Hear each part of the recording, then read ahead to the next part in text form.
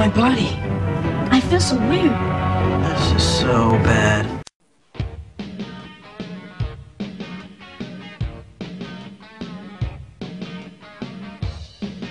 Hola, konnichiwa, saludos, mushi mushi und hallo. Und ganz viele andere Sprachen, die ich nicht beherrsche. Du hast Muschi gesagt. Und das im, im Live-Fernsehen. Das muss. Ohne Scheiß, dieses Video wird erst von YouTube runtergenommen, zensiert. Es ist ab 18. Das ist eine Freigabe. Der Vollmond ist mal wieder aufgegangen. Der volle Mond. Ja. We Das schimmert immer so schön. Ne? we are talking Full Moon Business again. Nach dem wunderbar simplen Evil Toons. Ach, der hat Spaß gemacht. Äh, geht's jetzt ein bisschen weiter. Ich habe noch ein bisschen was an Full Moon hier. Da werden die, nächst, äh, die nächste Zeit noch mehr Full Moon Sachen Es kommen. ist wirklich so eine Qualitätswerkstatt. Also Full Moon ist wirklich Qualität per Excellence. Es muss Qualität sein. Warum gibt es ansonsten zehn Teile von Puppet Master? weil die Puppen sind. Äh, äh, ich meine, weil es so aufwendig und so, so schön auf, arrangiert ist. So, ein Film, den ich damals äh, als Trailer gesehen hatte und nagelt mir nicht drauf fest, wo auf irgendeiner VHS.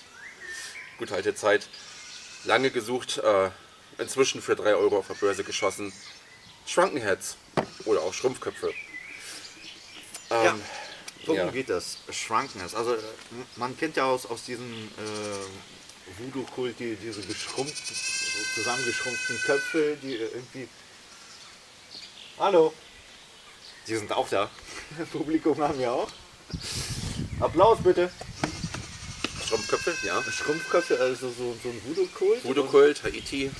Haiti und ähm, wir befinden uns in, in den Südstaaten, wo, wo das auch traditionell auch eher von Du meinst New Orleans?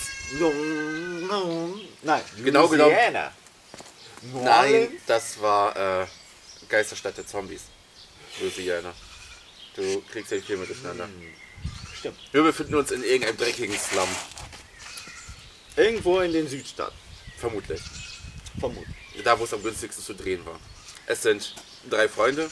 Zwei davon kennen sich schon länger und den dritten treffen sie, weil eins davon äh, Bullies drangsaliert wird. Äh, die örtliche Bully-Gang, die in den Slums rumläuft und Schwächere mobbt. Äh, Ah, okay, okay, da sind wir. ja, Schrankenheads. Hm, okay. Vollmond, nicht Fulci. nicht Fulci-Moon. Vollmond. Oh, das wäre doch mal ein Crossover, Alter. Fulci dreht bei Vollmond. Boah, Gänsehaut. Okay. Ja, so. Unser Hauptprotagonist Tommy, sein dicker Kumpel, dessen Namen ich nicht gescheckt habe, und der quotenschwarze Frederick, Zweitname, sonst was. Er hat einen, achso, einen schwarzen oder einen zweiten Vornamen. Wahnsinn.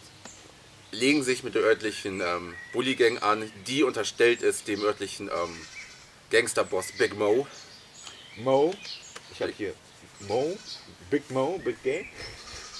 Der kam mir dir so vor. Ähm, wie er gesprochen hat. So, und jetzt, ich habe das Ex, ich musste mich den ganzen Film über so zurückhalten, weil ich die Live-Reaktion sehen wollte. Was wäre, wenn ich dir sage, dass Big Mo äh, von einer Schauspielerin ges gespielt wird? Mac Foster. Und dass Das ist die Person dir. Ja, Frau. Okay. Mac Foster. Das hätte ich nicht gewusst. Ja. Ich dachte, es ist einfach nur eine Schwuchtel. Im Filmkanon ist sie ja auch ein Mann. Aber wird halt von einer Frau gespielt. Man erkennt es aber auch nicht, die gute Mac Foster. Äh, gruselige Augen. Jeder, der Resort to Kill kennt. Äh, ja, die kriegen auf jeden Fall Ärger damit. Noch dazu ist Tommy in die Freundin von Winnie, dem Oberbully, äh, verliebt. Obwohl Und ich sie auch ein bisschen hier in ihn. hingeschrieben habe, Winnie das Weichei. Ja, weil er gesagt hat, ja, lass gut sein, wir, wir verprügeln ihn ein bisschen. Aber nachdem sich die Jungs da mit Big Mo anlegen und ein paar Wettscheine mitgehen lassen, äh, wird Winnie und seine Gang dazu forciert, die drei Jungs zu töten. Ja, kleine Kinder werden erschossen. Und wie kommt es zu den Schrumpelköpfen? Der örtliche Zeitungsmann verkauft Comics, sehr ähm, sympathisch. Mr. Sumatra, ich weiß nicht, inwieweit das äh, korrekt ist. Ähm, Mr. Auf jeden Sumatra. Fall nicht aus Indonesien. Der Haitianer hat da vielleicht ein bisschen Hintergrundwissen und präpariert die Köpfe, nachdem er in die Leichenhalle eingebrochen ist und den drei Leichen die Köpfe abgesägt hat. Ähm, mit seinem Magic Voodoo Zeug. So dass sie so. Wieso macht er das? Hat er eine bestimmte Motivation? Welches Ziel? Mr. Sumatra war früher auf Haiti tatsächlich Polizist. Ist jetzt sehr alt geworden, körperlich auch ein bisschen gebrechlicher, will aber mit Hilfe dieser Schrumpfköpfe in seiner Hut, sage ich jetzt mal, äh, für Recht und Ordnung sorgen, Gerechtigkeit. Ja. Denn Winnie und seine Gang sind inzwischen mit der Gunst von Big Mo ziemlich weit hochgestiegen und äh, machen jetzt Schutzgeld und Und die Schrumpelköpfe, äh, inwieweit können Schrumpelköpfe äh, Verbrechen Oh, irgendwie, ho. äh, irgendwie äh, dank Mr. Sumatras Magic Voodoo können sie fliegen oder schweben eher.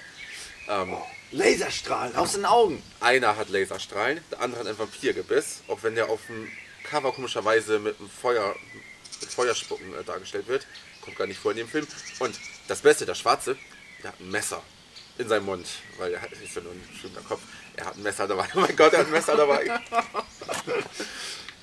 Okay, äh, und wie soll das funktionieren? Also, äh, er lässt sie, wenn Verbrechen geschieht, lässt er die Schrumpelköpfe mal äh, losfliegen und die klären die Sache, oder? Ja. Das ist der Film? Noch dazu Gibt es da einen großen Bösewicht? Big Mo und Winnie. Die Schrumpfköpfe wollen ja gleichzeitig Rache an ihren Mördern haben, Mörder, Peiniger etc. Äh, Tommy als schwebender Kopf versucht noch bei seiner alten Flamme wieder zu landen. Was gelingt in einer sehr verstörenden Szene, in der der fliegende Kopf äh, unter ihr Top schwebt und äh, wahrscheinlich kurz Puff Puff macht. Oh. Shrunken Heads, ich habe mir leider sehr, sehr viel, sehr was anderes darunter vorgestellt. Die Effekte sind in Ordnung. In Ordnung. Also, die, die fliegenden Köpfe sind einfach nur Overlay. Und äh, Ich habe schon Schlechteres gesehen. es ist halt Full Moon, ne? Man, man merkt, dass es irgendwie so, so. Es ist. Man sieht aber auch, dass sie mehr Budget hatten als bei Evil Toons. Sie Ja. konnten draußen Aufnahmen sich leisten. Es sieht nach mehr gewollt, aber viel zu billig aus. Äh, Das ist das Problem im Gegensatz zu Evil Toons, äh, der so eine selbstironische Attitüde hatte. Warum beginnen solche Filme eigentlich immer damit, dass ein paar hübsche Mädchen in den Keller gehen? ähm, ja, im Gegensatz zu Evil Toons ist der ähm, Boob Counter 0, was aber daran liegt, dass die drei Jungs nur minderjährig sind und die Hauptdarstellerin laut dem Film auch minderjährig ist. Komm schon, du bist doch schon fast 16. O-Ton Winnie, das stand nicht von mir. Äh, keine Bubis. Dafür Mr. Sumatra. Diese Augen, unglaublich overacting-mäßig. Ich bin ein großer Fan. Er kann super, super, super äh, böse gucken, auf jeden Fall. Finde ich gut. Das war's darstellerisch leider schon. Winnie sieht ein bisschen aus wie, wie ein verweichlichter John Travolta aus Grease. Ja, ich sage es, ein verweichlichter John Travolta aus Grease. Es ist ja nicht so, dass Danny da der krasse Ober... Für die ist. Frisur hat es nicht gereicht, oder was? So andeutig. Ja. Die Frisur war in Ordnung. Ist aber richtig schwer zu machen. Ich hätte auch gerne so eine. Ohne Scheiß. Das Einhorn aus Kamikaze-Girls. Rigi. Das ist ein. Das ist. Die Frisur war aber nicht echt, das zählt nicht. Das war ein Sprungbrett. Stellst dich vor das Becken im Schwimmbad und dann kannst du drauf, drauf runterspringen. Nee, leider war es Shrunken Heads. Nachdem ich so lange danach darauf gewartet hatte, ihn zu sehen, unheimlich enttäuschend. So schlimm, dass ich im Finale, das Finale habe ich so halb nebenbei mitbekommen, ich bin immer wieder kurz weggenickt. Es war wohl eine Autoverfolgungsjagd, die unglaublich langweilig war. Ja, das war wirklich ein bisschen wenig, aber keine Ahnung. Was hat der Film wohl wahrscheinlich gekostet, was denkst du? 20.000? Na, mehr. Mehr. Sehr viel mehr. Okay, 100.000. Mehr. Eine Viertel. Viertel Mille? Mehr. Glaube ich nicht. Doch, schon. Ich? schon. 250.000 gebe ich maximal. Schrumpelköpfe. Ähm, Bin ich weit Ja. drüber, aber noch unter einer Million. Davon könnte man irgendwann ein Remake machen. Schrumpelköpfe. Von Schrumpfköpfen. Fliegende Schrumpfköpfe. Vielleicht mit ein bisschen. Hast du, hast, du, hast du schon eine Idee? Können wir ein Drehbuch schreiben? Also ich will eine Also, Art. ohne Scheiß, das, was wir geboten gekriegt haben, das kriegen wir auch selber hin. Du kennst gar keine Mädchen, hör doch auf. Das stimmt ja, das ist ja auch noch weibliche Rollen. Sind, äh, Aber Und ich ich zähle kenne auf dich. ich kenn keine 50-jährigen Schwarzen. Aber vielleicht kannst du da aushelfen. Ja, Und keiner von, Demnächst. keiner von uns kennt Mac Foster. bei Movie Island, Shrunken Heads. Also ich würde mir von, äh, vom Shrunkenhead äh, Remake tatsächlich ein R-Rated wünschen. Mit, wenn die Laserstrahlen schießen, zerplatzenden Köpfen. Und ja, wir haben ja, diesmal mit Volljährigen und dann sieht man nämlich, was er unter dem Top tut. Blablabla. wir haben ja gerade so, so einen komischen Asiaten gesehen. Über den wir gleich auch noch reden werden, vielleicht, weil Mal sehen, mal sehen. Der ist noch so ob die frisch. Zeit noch reicht. Ähm, zweiter Take. zweiter Tag. Äh, und, und da wurde ordentlich rumgespritzt, ne? Aber hier so, so. Das Allein- jetzt aber auch unfair. Das ist ähm, gut, die New Wave of Japan Fansblätter ist vorbei. Er gehört aber noch mit dazu. Eindeutig Japano Fansblätter und das hier ist Anfang 90er. Das ist ein Familienfilm. Familie. Es, es hat auch ein bisschen was von den Goonies, allein weil die Darsteller so jung sind. Ne? Ja. Aber das verwechselst du wieder mit äh, Monster Busters. Das ist wie die Goonies. Das ist wirklich wie die Goonies. War übrigens der Vortrailer. Ja, stimmt. Vor, der, äh, war das eine äh, ähm, offizielle DVD? Ja. Eine offizielle VL. Also, da haben sie einen Trailer davor geschaltet mit äh, äh, Monster Squad. Genau. The Monster Busters. Monster Squad. Monsters. Ja, genau. Die Goonies mit Horrorfilm-Legenden. Ganz Auch launig. sehr schöner Film. Ganz launig. Ich habe ihn nie, Irgendwann- nie zu irgendwann- Ende geschafft. Irgendwann könnten wir äh, so, so, so, so Teenie-Horror. Weißt du, was das Schlimme ist? Ich habe nie die Goonies gesehen. Ich auch nicht. Ich kenne immer nur die Anspielungen in den ganzen Ich weiß. Serien. Das Ich weiß, ja. ich weiß, ich weiß. Ich, ich kenne die Anspielung auch, aber ich habe auch nie die Goonies gesehen. Oh, ich lieb. Was? So. Ich, ich kenne nur diesen Schwappeldance aus Family Guy, wenn sie unten in der Kanalisation sind. Mach den Tanz, ich will aber nicht. Na los. Wir, wir haben unser ganzes Wissen von den Goonies nur durch die Querverweise aus Family Guy und, und anderen parodistischen Sendungen. Ja, die Goonies, das wäre vielleicht mal eine Herausforderung. Die mal zu gucken. Der ist Hast du nach- der, Bird noch?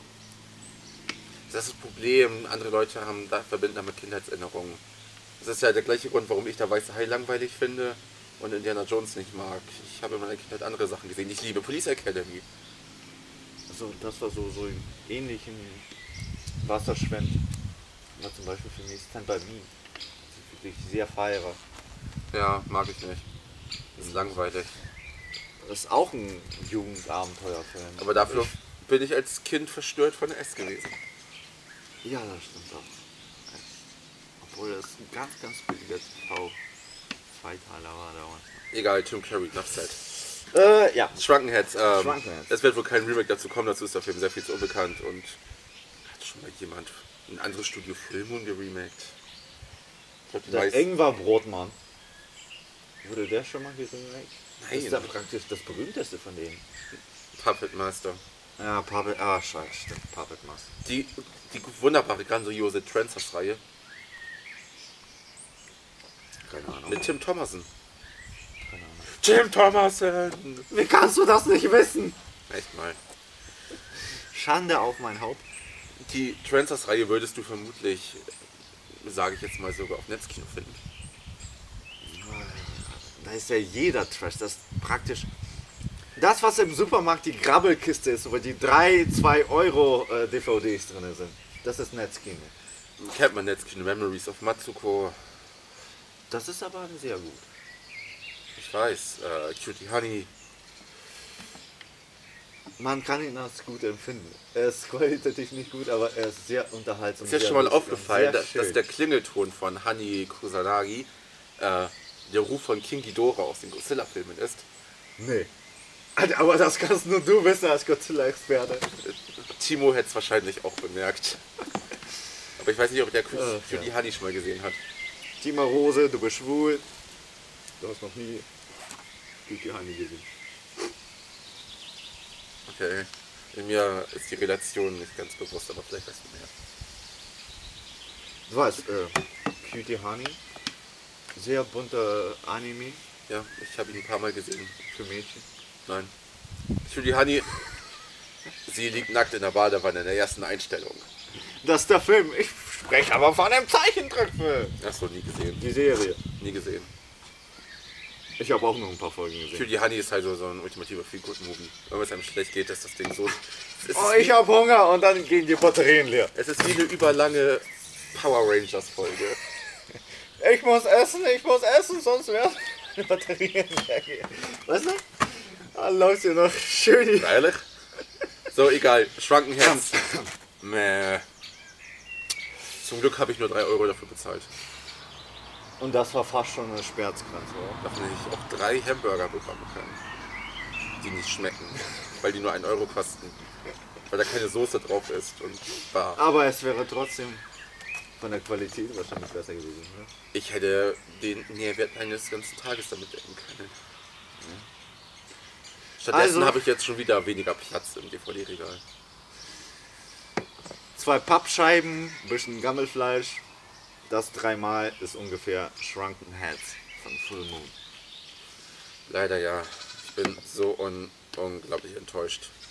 Noch viel schlimmer, weil wir davon wirklich guten Film gesehen haben mit Die Geisterstadt der Zombies. Mit dem ich jetzt die ganze Zeit verwechsle, weil, ich ihn, weil wir ihn praktisch nacheinander geguckt haben. Da haben auch sehr viele Schnittpunkte natürlich. Okay.